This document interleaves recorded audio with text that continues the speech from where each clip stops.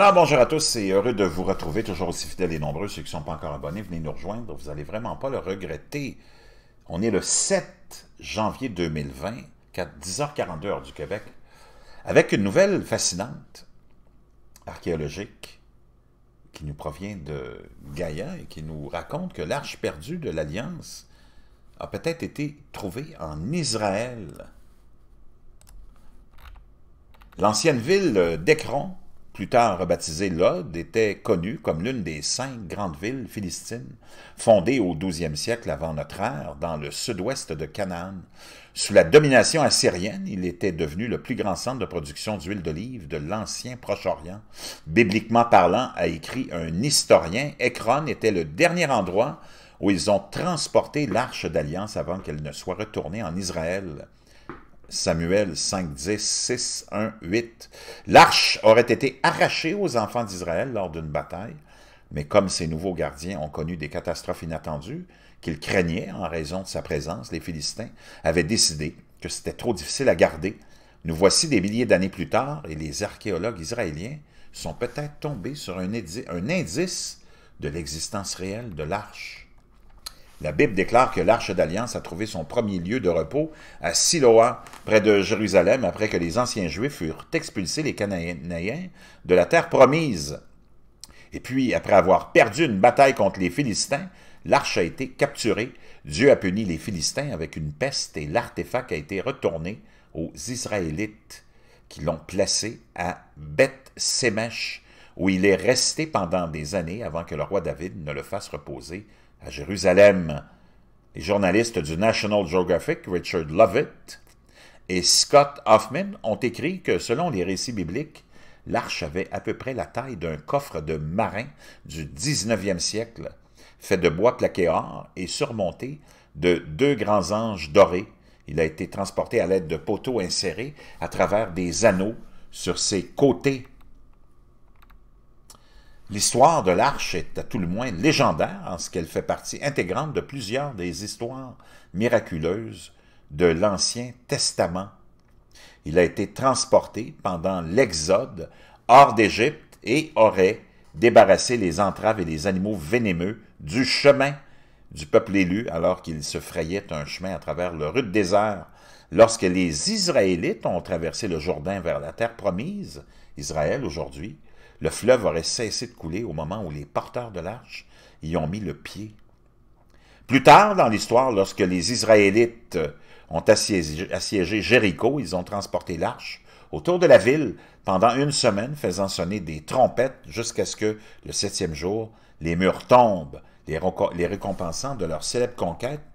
En 597 et en 586 avant notre ère, écrivaient Lovett et Hoffman, les Israélites ont été conquis par les Babyloniens et l'arche a disparu de l'histoire. Qu'il ait été détruit, capturé ou caché, personne ne le sait. Sur le même terrain désertique vallonné de Lod, où la première force aérienne israélienne s'est entraînée en 1948, les, Philistins avaient jadis attelé deux vaches à une charrette en bois pour ramener lentement l'arche de l'Alliance et ses héritiers légitimes, les Israélites. Maintenant, les chercheurs rapportent que des archéologues israéliens ont peut-être découvert un lien avec l'arche perdue qui contenait les dix commandements originaux accordés à Moïse par le Dieu des anciens Hébreux. Les archéologues ont peut-être trouvé un temple avec une pierre où reposait autrefois le sanctuaire. Le site de cette structure est, à une demi-heure au sud-est de Lod et porte le potentiel de vérifier l'authenticité de l'histoire biblique. Le journaliste, ou le journal israélien plutôt, Haaretz, a rapporté que des archéologues fouillant un temple vieux de 3100 ans euh, dans l'ancienne colonie de Beth Semesh, à l'ouest de Jérusalem, ont découvert une table en pierre inhabituelle qui semble correspondre à celle décrite dans la Bible comme jouant un rôle dans l'histoire de l'Arche d'Alliance. Beth Semesh, autrefois, était autrefois une ville frontalière entre les Israélites et les Philistins, dans une région où les deux peuples se sont souvent affrontés. L'archéologue de l'Université de Tel Aviv, Zvi Lederman, a annoncé aux médias ce serait un cas rare dans lequel nous pouvons fusionner le récit biblique avec une découverte archéologique. Lederman conduit Beth Semesh à creuser avec son collègue, le docteur Slomo Bonimovitz. Bonimovitz a déclaré Il y a beaucoup de preuves qu'il s'agissait bien d'un temple quand on regarde la structure et son contenu. Il est clair que ce n'est pas un espace domestique standard, mais quelque chose de spécial. Lorsqu'on euh, fait face à l'est avec le lever du soleil, la structure s'ouvre sur une plateforme couramment utilisée pour les cérémonies religieuses. À l'intérieur de ce que les archéologues appellent le temple, il y a deux grosses pierres rondes concaves dans lesquelles des gouttières avaient été sculptées. Ceux-ci peuvent avoir été utilisés pour le vin et ou les petits pressoirs à olives pour produire de l'huile sacrée, selon Lederman. Dans les, environs, immédiats, il y a aussi un trésor d'artefacts décorés, cruches, tasses et un, un tas d'os d'animaux, qui sont tous des indices que des rituels ont eu lieu sur le site à un moment donné, au milieu du 12e euh, siècle avant notre ère. La structure a été délibérément détruite et les euh, récipients en poterie ont été brisés en morceaux.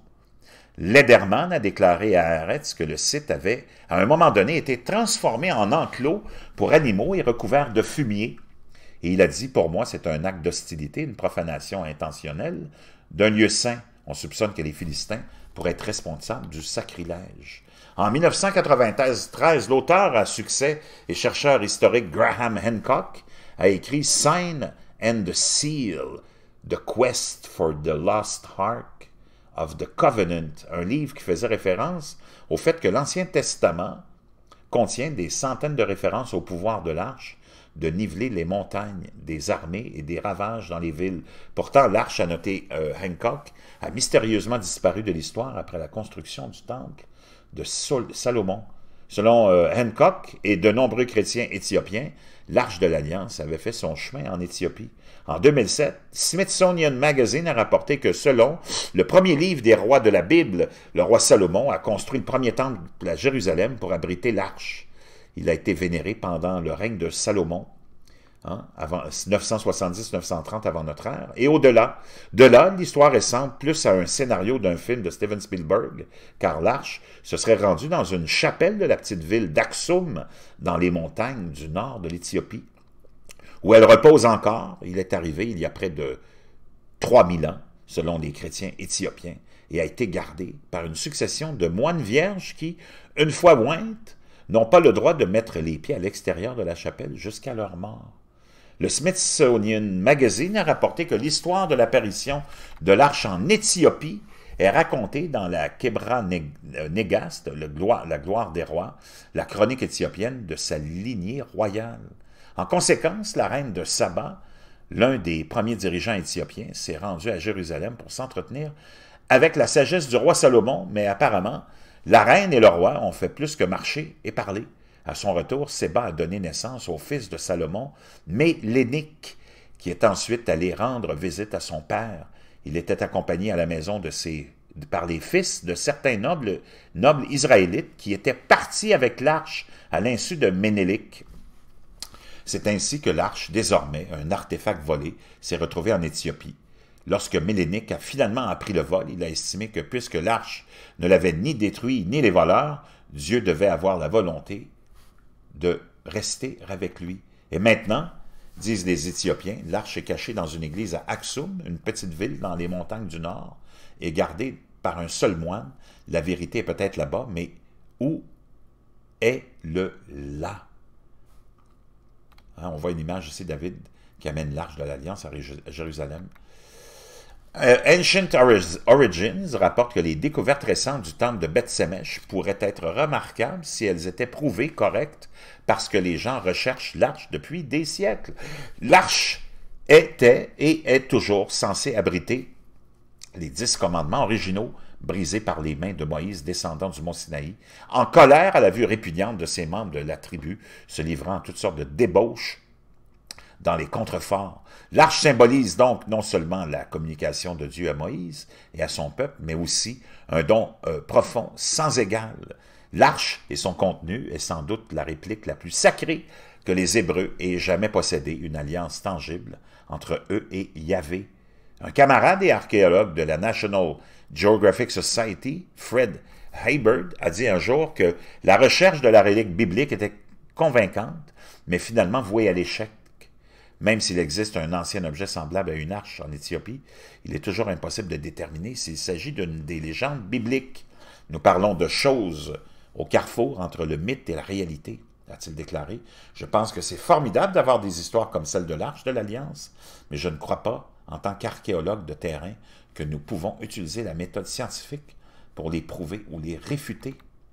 Hébert pourrait-il se tromper? Et s'agit-il d'un autre de ces cas? Vraiment fascinant, intéressant.